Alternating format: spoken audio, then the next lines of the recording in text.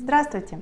Сегодня хочу, чтобы мы вместе с вами определили самые благоприятные дни для зачатия в вашем менструальном цикле. Или наоборот, определили самые опасные дни для наступления нежелательной беременности, особенно если вы используете э, ненадежные методы контрацепции, такие как э, прерванный половой акт или используете спермициды, например, свечи или крема. Все прекрасно знают о том, что самым благоприятным периодом для зачатия является период овуляции. Но овуляция у каждой женщины происходит в разное время, и это не обязательно должна быть середина цикла. Овуляция происходит, как правило, за 14 дней до ожидаемой менструации. То есть, если у вас цикл 28 дней, то она произойдет на 14 день. А если ваш менструальный цикл 34 дня, то она произойдет на 20 день. Вот видите, какая разница. Поэтому нам необходимо определить не конкретно один день, а именно период.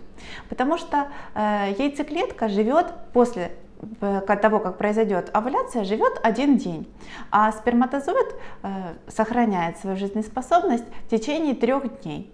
Поэтому, если вы планируете беременность, вам необходимо э, жить активно половой жизнью за 3-4 дня до периода овуляции и 1-2 дня после. Это даст более э, возможность, более вероятное наступление беременности. Теперь давайте перейдем именно к календарному методу вычисления самых э, благоприятных дней для зачатия. Для этого нам понадобится ваш календарик. Э, напомню о том, что необходимо вести календарь менструации. Это нужно не только для врача, когда вы приходите на прием, это нужно для вас. Во-первых, вы сможете определить самые благоприятные дни для зачатия и сможете диагностировать э, первые симптомы, например, какой-то патологии. Поэтому это очень важно. Если вы еще не ведете э, календарь своих менструаций, рекомендую это начать. А, особенно сейчас это очень просто, необходимо просто скачать приложение в свой смартфон. Э, итак, приступим. Нам необходимо знать длительность э, минимум 6 ваших менструальных циклов. Мы знаем, у нас есть 6 менструальных циклов. Мы берем с этих циклов самый короткий менструальный цикл и самый длинный. Буду приводить сразу примеры, чтобы было проще. Итак, например, ваш самый короткий менструальный цикл составил 26 дней. Э, нам от этой цифры, от 26, необходимо отнять 18.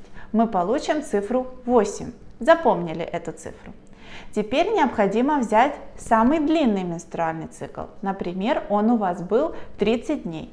От 30 нам необходимо отнять число 11, и мы получим цифру 19.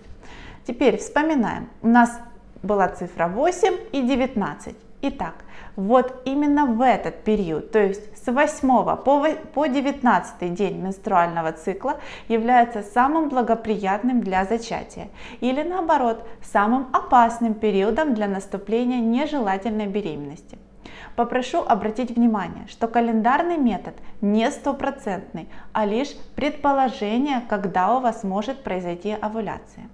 Для того, чтобы более конкретизировать и определить вашу овуляцию более достоверно, существуют другие методы. Например, это может быть измерение базальной температуры, проведение тестов на овуляцию. И самым точным является э, проведение фолликулометрии. То есть э, во время менструального цикла вы ходите несколько раз на УЗИ, Доктор меряет э, созревающий фолликул, потом отмечает факт наличия желтого тела, и это говорит о том, что у вас произошла овуляция, ваши циклы овуляторные, и по росту фолликула вы можете определить, когда же вам необходимо жить половой жизнью более активно. Э, но существуют и косвенные методы определения овуляции. Это может быть тянущая боль внизу живота, э, изменение характера выделений. Выделения могут становиться такие более тянущие, как яичный белок. Э, вот это тоже являются симптомами переовуляторного периода.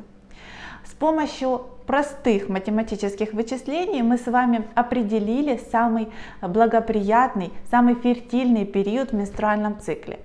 Вы можете э, ссылаться немножко на него и таким образом э, осуществление э, будущего материнства становится ближе еще на шаг. Или наоборот, вы с помощью данного метода сможете избежать нежелательной беременности. Надеюсь, это видео для вас было полезным. Несложно сделать эти расчеты. От вас требуется лишь только вести календарь своих менструаций. Поэтому приступаем уже сегодня.